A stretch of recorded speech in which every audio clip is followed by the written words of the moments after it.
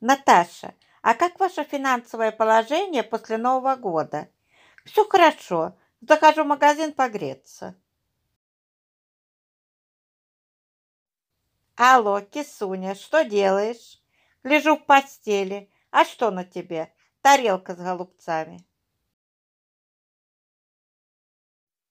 Светка была такой заботливой женой и так берегла своего мужа, что все время пользовалась чужим. Ваня, я беру все свои слова обратно. Я что-то не понял. Валюха, ты решила таки извиниться? Да не, я новые придумала.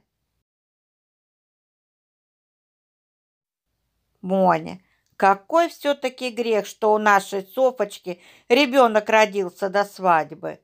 Так что здесь такого? Откуда он мог знать, когда свадьба?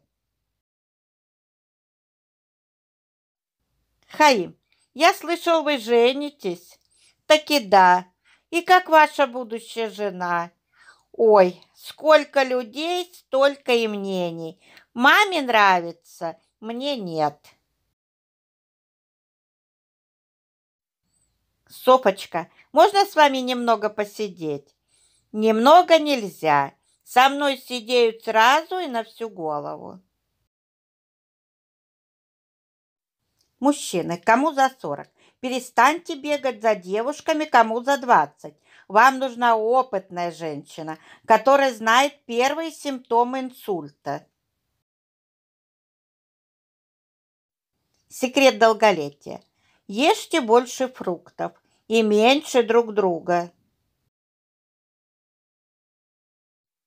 Семейный обед. Теща зятю. Зятек, отрежь мне колбаски.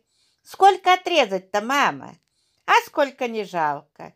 Не, мам, я так тонко резать не умею. Говорят, что рыба полезна для мозгов. Не знаю. Я и селедкой лоб натирала, и карася к голове прикладывала.